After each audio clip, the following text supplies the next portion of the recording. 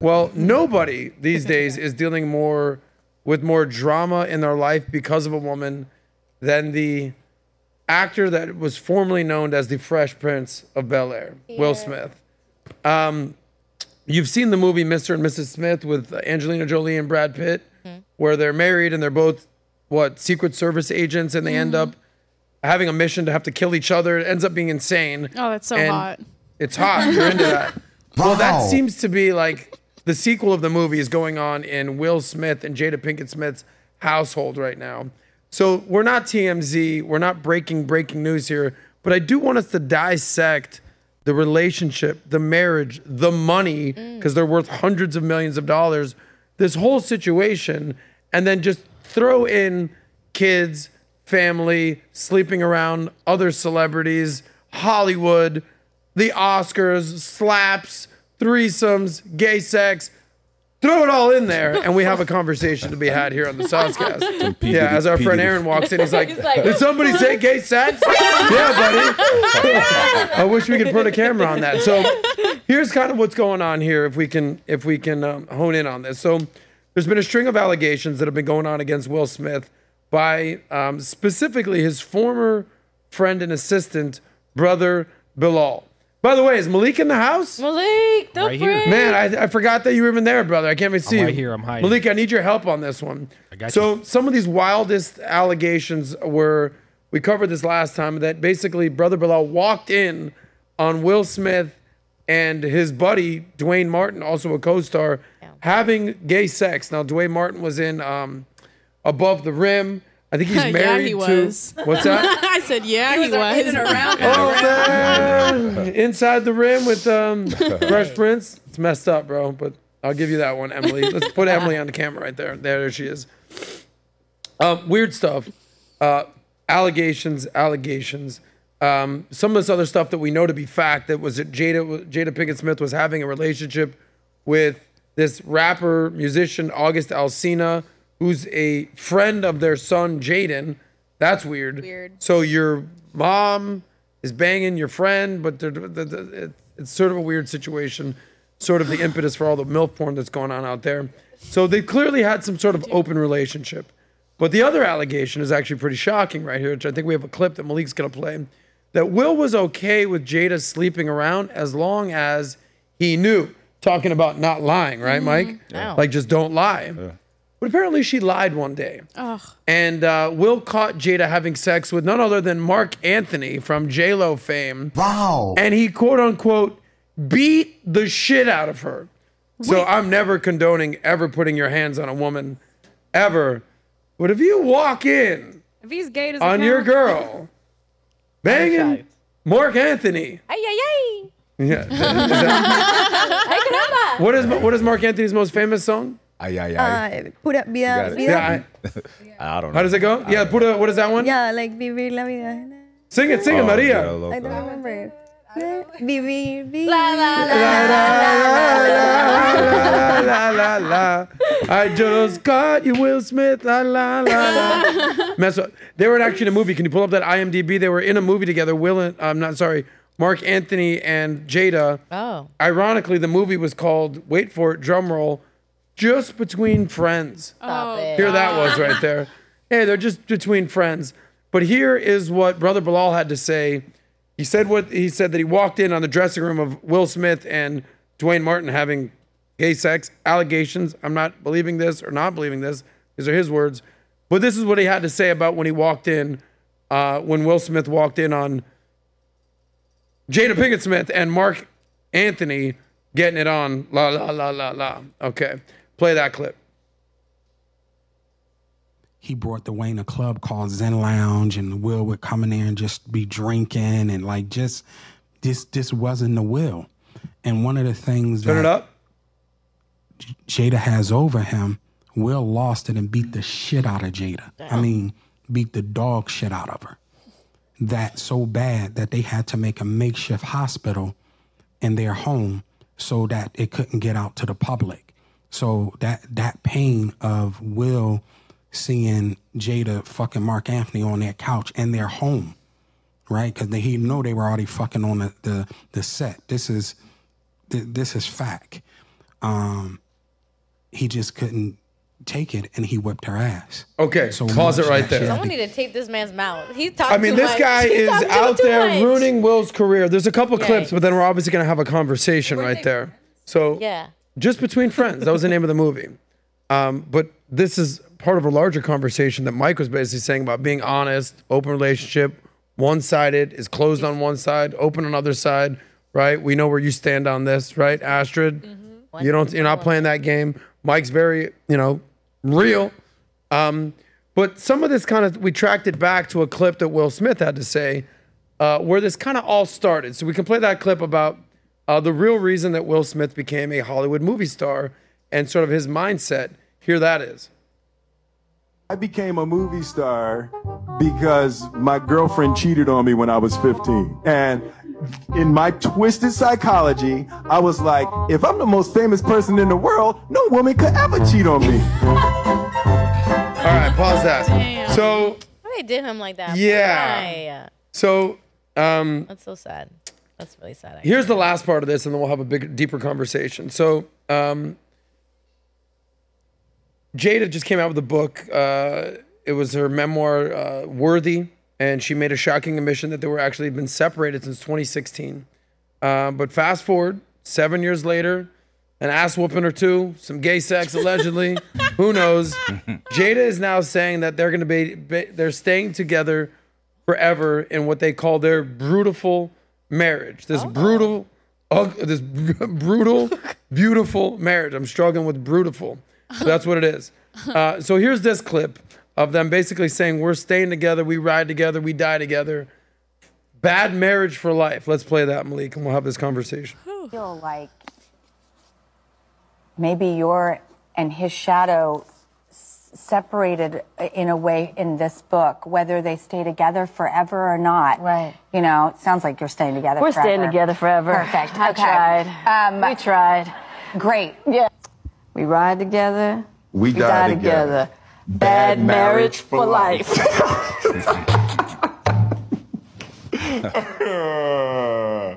That's terrible. Yeah. So, Mike, you're a man. You've been very honest with the ladies here. Ladies, I think you can appreciate his honesty. This is a whole nother level of nonsensical shit that's going on. If if you if you were kind of coaching Will Smith through all this, and you can go back and be like, listen, Will, you're gonna be a fucking movie star. Here's what you gotta do. Like, what would you have told him years ago to help him avoid basically this public embarrassment? They basically called it a sloppy public experiment of unconditional love. If you were in his ear back then or even now, what advice would you have for Will Smith? do it, keep go, do it. I'm gonna tell you why. They said they riding is ride or die, right? Yeah. Everybody's fucked up.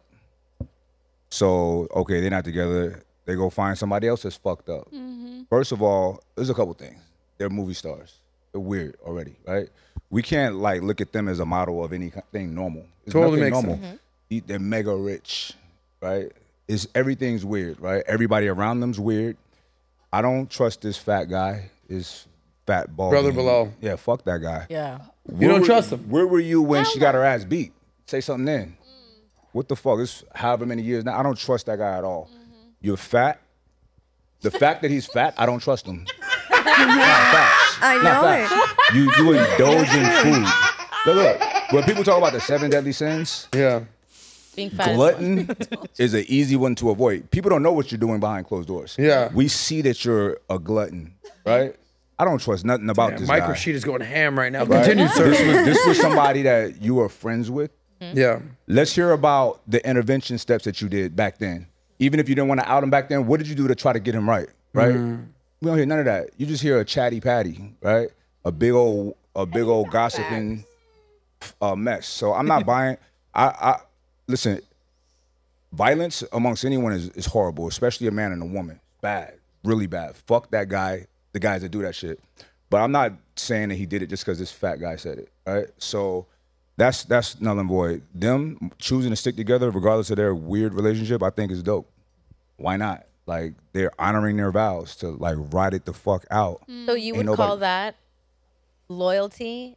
Would you call that that's a more loyal uh, relationship, or would you say that there's disrespect in that? I, I call that unconditional love. Exactly what they said. Gotcha. No conditions to it. And they're a real example of it. Because look, everybody is, is casting judgment, right? Right.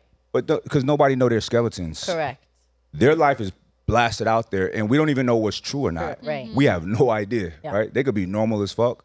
I doubt it, but they could be. You know what I'm saying? So I, I I take this with a grain of salt. When when news come out, I don't believe shit. I- mm-hmm. I- nada, right? It's all entertainment to me. You know what I mean? Mm-hmm. Well, I got to tell you, this is why I respect you so much. You never like you're like a life is like a box of chocolates with Mike Rashid. You never know what you're gonna get. I thought you were gonna be like, dude, get the fuck out of there. All right, so I'm a- get out of there. Right, but like right, you're basically saying you're saying because obviously most men. I've had this conversation with Patrick Bet-David, with our whole team, with other guys, are like, dude, this woman is dragging you down. She's ruining your life. We've all been like, just jump ship, abort, pull out, go. But he you're wants to like, be nah. there. You're He she knows it. she knows where the bodies are buried. He likes it. You think he's into it? He's he's into whatever. He, he's mega rich. He could do whatever he wants. Yeah. He wants her, right? Mm-hmm. So he likes, he loves her. She loves him, right? Unconditional They love. love whatever the fuck they got. And here's a, here's another thing. This is the main thing. It don't matter to me. I don't give a fuck. Right. No, I don't no care doubt. what anybody do with with, with their But love what I life. did want to get into is because most people can definitely take that Yeah. that that uh, position of like, bro, it's Will Smith, it's Jada, but there's a deeper level to that, where, Mm. which all men will deal with, and it's at what point does, especially publicly, disrespect, just making you look bad, um, humiliation, or even some sort of simpish, weird qualities. At what point would you even tell your buddy, forget about the Hollywood stuff, forget about that, no matter how much he loves that girl and marriage and vows, at what point you're like, bruh, this woman is is uh, Hurting you. like drowning you in But we- real life. At what point to- you'd be like, yo, bounce. That's under the assumption that the friend literally knows everything about their situation, Mm-hmm. which nobody ever does. You only hear what your friend is telling you. That's all we ever know. That's why people getting advice about their people should not talk to anybody about their their situations Interesting Yeah. take. because they're not going to give an honest, Yeah. full, complete So I, version. right of now, we're not even talking about Will and Jada. We're just talking about anybody, Anybody. because you actually bring up a really good point. Anytime that a girl goes and tries to talk to her girlfriends about advice, It's bad. Oh yeah, it's not good. bad. Oh, good. if it's a single girlfriend, be Forget very weary, gentlemen. Oh, they're jealous. Because that too. single girlfriend's gonna be like, nah, you don't, you know, he never treated you like. But if it's the married girlfriend, she's also gonna kind of say like, She's gonna compare you. To she's her- gonna her compare. Well, my husband would never do this or do this. yeah. It's interesting. I think it was um, Patrick.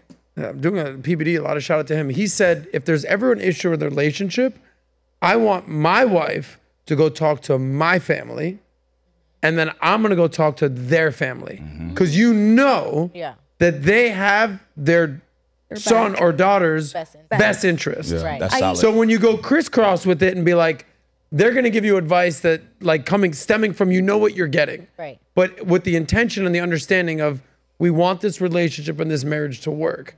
I remember in the in the uh, Valuetainment event that Yeah, he was the vault? explaining. Yeah, the vault. He was he was explaining that Exactly. He said like before I actually got engaged with my wife, I asked her what were the five people that she was gonna run towards when we have a problem. Yes. And I love that because when I talk to the girls that I'm always teaching, like training, I tell them like, yes, you have to make money. Yes, you do this, blah, blah, but don't forget about the feminine side, and don't forget that you have to respect. Don't forget like those little things. And also, if you are having any problem with your partner, you have to go and look at advice for someone who is always in a better position. If you are gonna ask an, uh, a money problem, like a business problem, to someone that doesn't even own a business, you ain't going Yeah, anywhere. that's real. Ah, great point. That's What else do you remember that PBD said? Because you were at the vault. He said that at the vault. I remember that. right in front.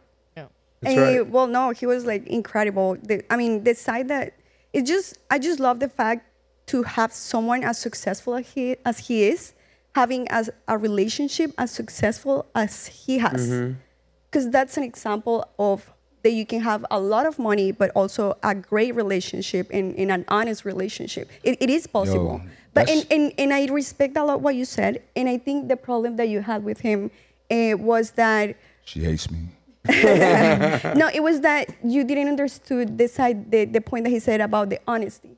So when you're honest, there's so many people who is willing to do anything for whatever desire they have. You know, even if it's a woman or a man. Unfortunately, nowadays there is no mo- many women that had feminine values or traditional values as before. So that's why people can do like accept some things. So it's not that oh, everybody thinks. Can I the get my rebuttal? Yeah, go ahead. So I agreed with what you said about following the advice of people you respect and admire. Like, don't. It's so funny because we idolize Will and No- Jada no- for so many sorry, years. not that respect and admire, but that you see yourself like.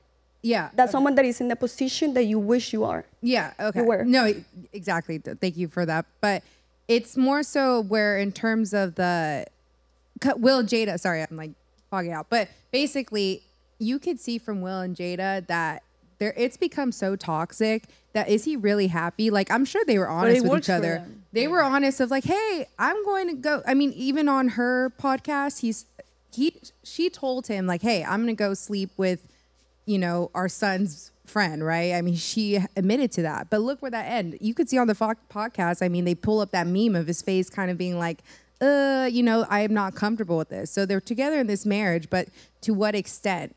Like honesty is great, yes, unconditional love, but when you're in such a toxic environment and when, and I've been in, like I've been in a relationship where I was in it way longer than I should have and it was so toxic, but I was like, you know what? I love this man, like we're going to work it out. And my biggest regret was that I didn't end it sooner. Like I, to this day, I'm happy where I ended up. Like I love, I'm with the man of my dreams. But to this day, I sometimes like think to myself, I'm like, damn it, I wish I would have enjoyed my single life more. I wish I would have like really taken the time to build myself to not go through those traumas. Because now there's times that where I bring up traumas I have to my current relationship, and obviously I've learned to curtail it.